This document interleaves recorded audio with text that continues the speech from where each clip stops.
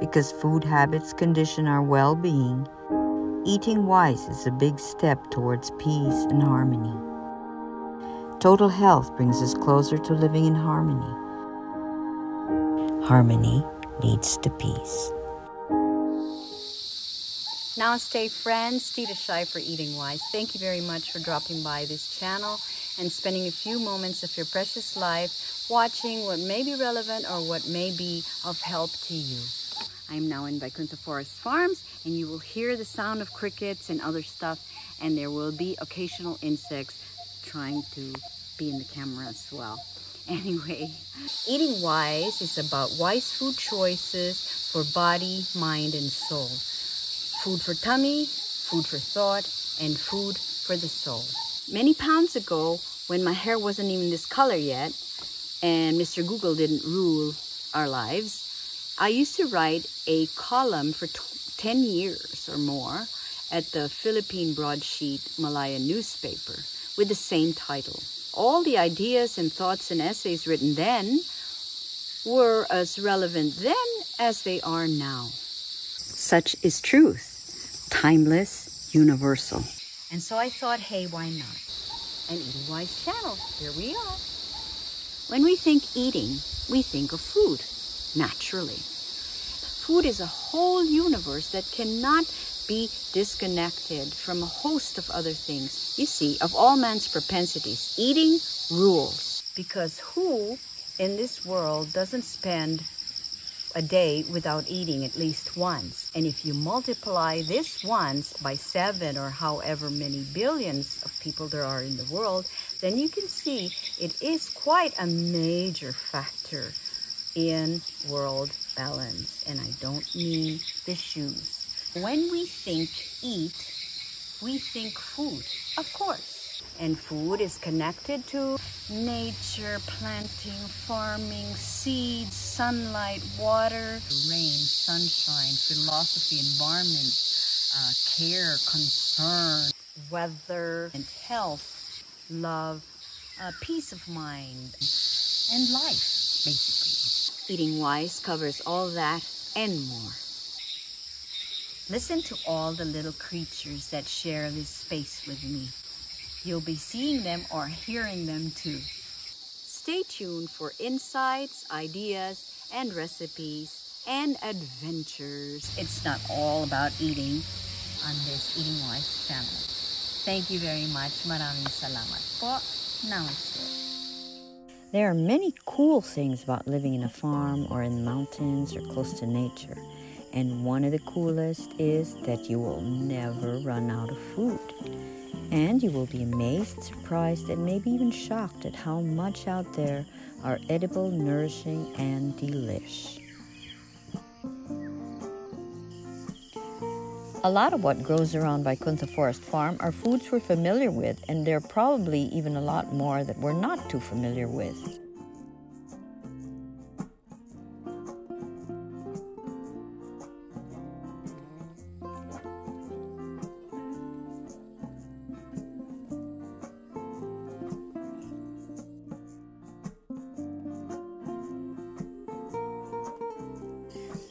Is an infinite variety of foods that nourish, foods that are great to eat and easy to grow. How wonderful is it to have a plate full of garden and to have close by your healing, nourishing, and strengthening plant medicines as well.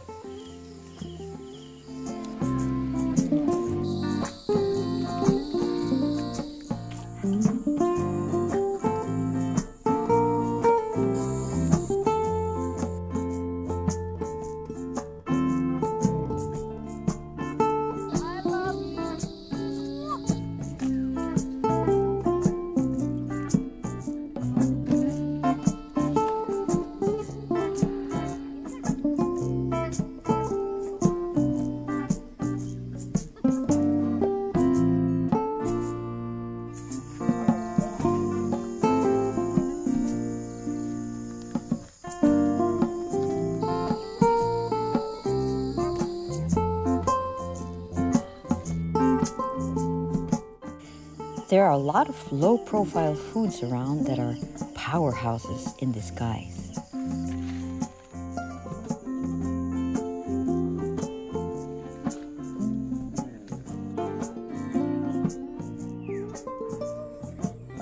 One such food is cassava, also known as kamoteng kahoy, balangay, tapioca, balinghoy, manioc, and more. Around for thousands of years as a staple in South America and Asia, cassava has been used by over 800 million people worldwide as a key part of their diet. While in urban Philippines, we don't pay them much attention, but in most rural areas, cassava is a major player in the regimen it's a no fuss, easy to grow crop, and it's cheap. Often overlooked, though, is the nutrition it offers.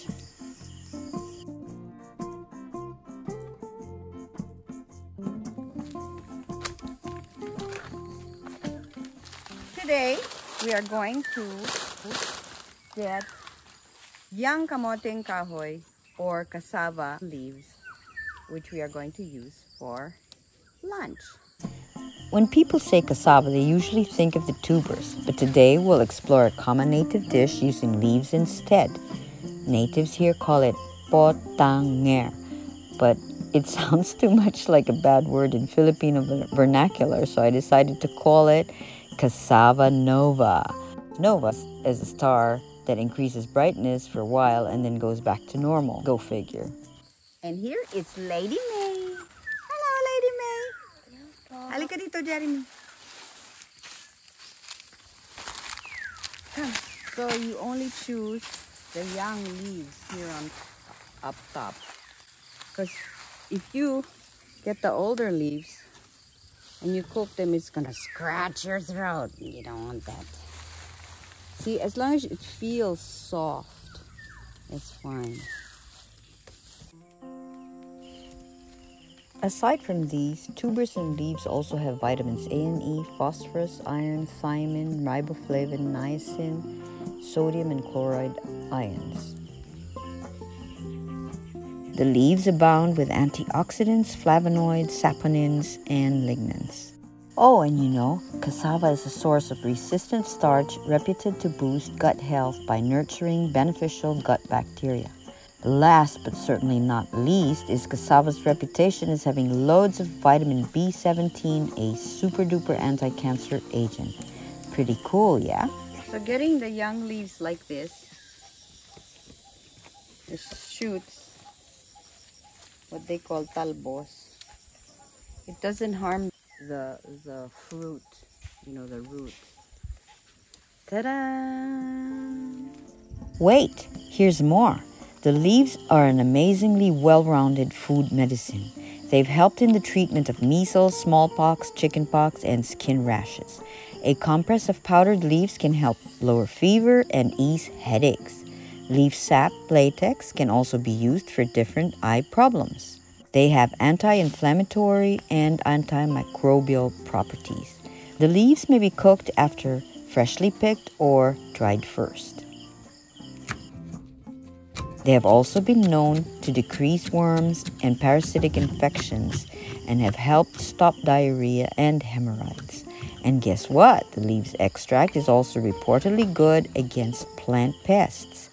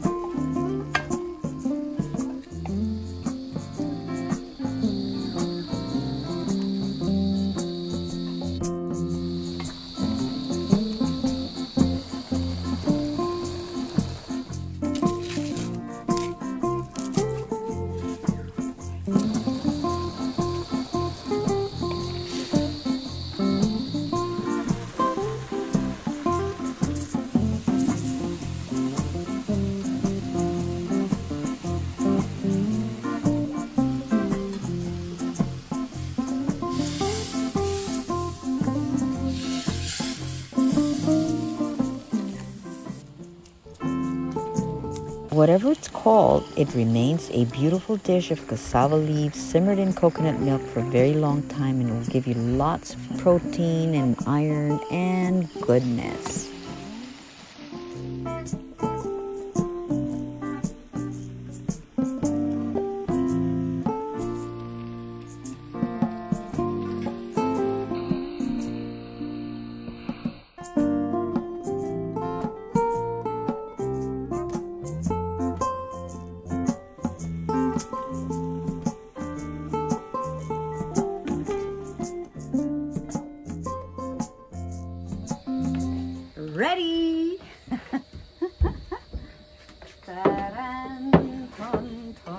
Sino may birthday? Okay. okay. Kasal tayo, honey. Ang biyaya. Ay,